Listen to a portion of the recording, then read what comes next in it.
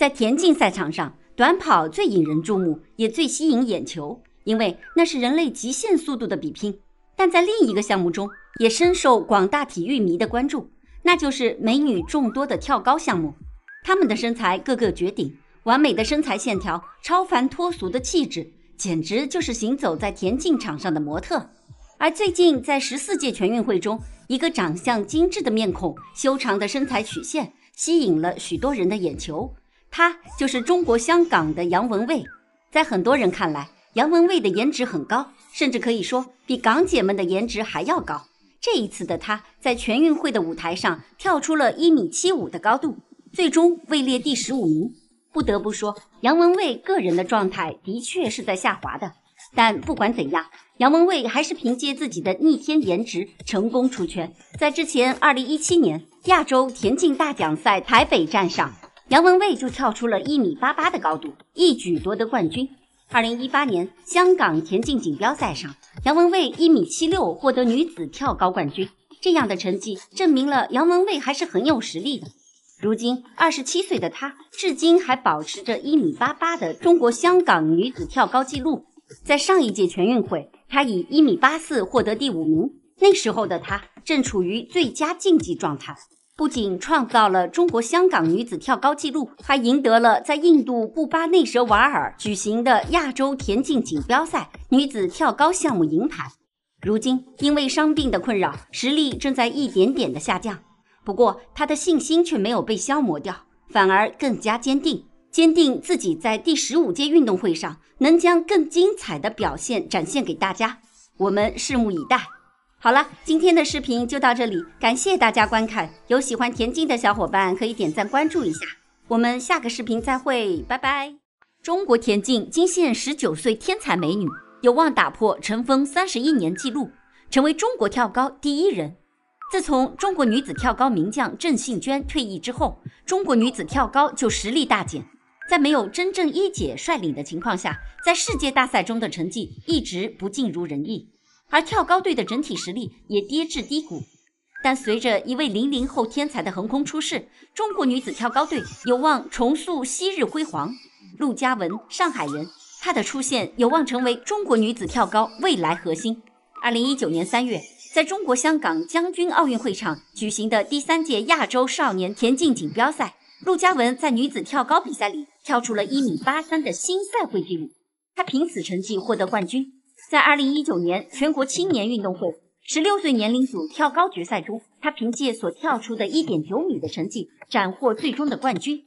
这个成绩放眼世界跳高榜单也能够排名第二，同时与已经退役的跳高名将郑幸娟的成绩相差无几，完全有能力成长为中国女子跳高新一姐，成为中国田径标志性的运动员。在跳高领域创造属于自己的辉煌荣誉。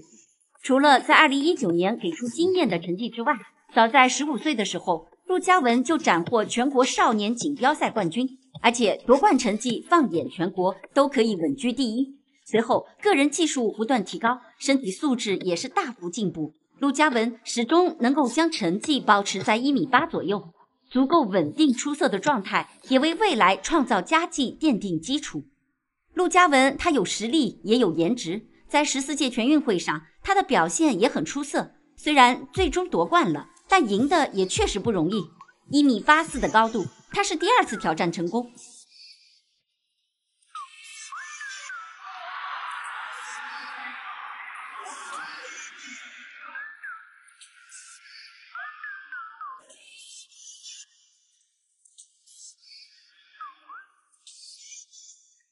进入状态后，一米八七的高度一次过，一米九零，陆嘉文两次失败。不过在一米九二的高度时，陆嘉文又是一次过，而真。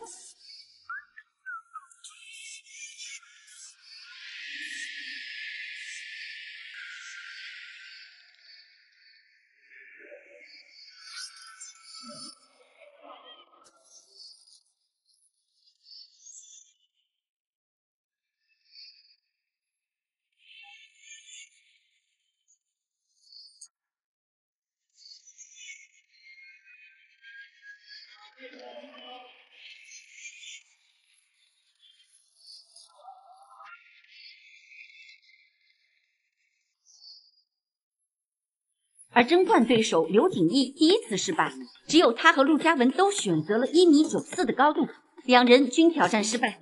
刘景毅一米九零收获银牌，陆嘉文一米九二获得冠军。这个高度是陆嘉文个人最好成绩，不过这与世界顶尖水平的差距还很大。比如尤金世锦赛参赛标准就是一米九六，当然陆嘉文才刚年满十九岁，未来的他有望刷新新高，向着两米大关迈进。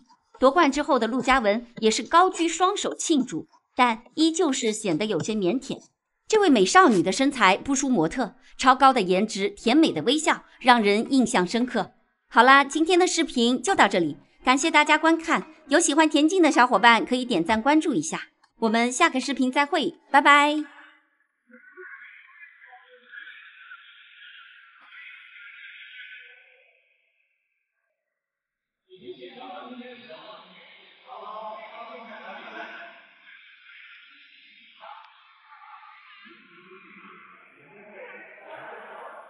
十九岁天才少女不负众望，迎来生涯巅峰爆发，跳出一米九二摘得金牌。这是继郑幸娟、王洋退役后，中国女子跳高再次闻来喜讯。陆嘉文出生于二零零二年八月，今年刚满十九岁，两年前就展示出卓越的跳高天赋。二零一九赛季，十九岁的陆嘉文跳出一米九零高水平成绩，被看好成为中国跳高希望之星。今年全锦赛，陆嘉文以一米八四获得亚军。西安全运会是他个人第一届全运会，陆嘉文拿出最好的状态和初生牛犊不怕虎的气势，一举夺冠。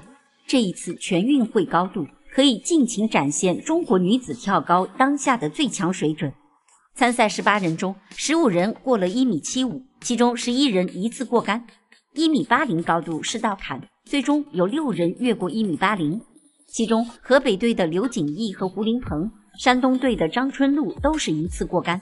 在这几人中，河北名将刘景毅与陆嘉文争到最后。刘景毅一九九四年出生，曾多次获得大奖。二零一七年亚洲田径锦标赛女子跳高比赛中获得亚军。二零一八年获得全国女子跳高冠军。二零一九年全国室内田径锦标赛女子跳高冠军。世界田径锦标赛选拔赛女子跳高金牌，她在跳高方面的成绩远远多于陆嘉文。跳高是一种非常考验身高天赋的田径运动项目，通过助跑、起跳、腾空、落地等一系列动作形式跳跃高度障碍的运动。现代跳高运动始于欧洲。一八二七年，威尔逊在英国举行的首届职业田径比赛中，跳出一点五七五米。这是第一个有记载的世界跳高成绩。十九世纪六十年代后，跳高开始在欧洲和美洲普及。跳高运动的技术动作出现过五次重大演变，即跨越式、简式、滚式、俯卧式和背跃式。现代绝大多数运动员都采用背跃式。男女跳高分别于一八九六年、一九二八年被列为奥运会比赛项目。女子室外世界纪录二点零九米，由科斯塔迪诺娃保持着。在世界大赛拿牌需要发挥二米以上的硬实力。陆嘉文虽然成为全国第一，但距离世界水准还有较大差距。不过他年仅十九岁，保持科学训练和不断完善跳高技术，在二十三岁到二十八岁的黄金巅峰期中，有望取得大的突破，冲击金陵保持的一米九七全国纪录。挑战两米大关，未来可期。好了，今天的视频就到这里，感谢大家观看。有喜欢田径的小伙伴可以点赞关注一下，我们下个视频再会，拜拜。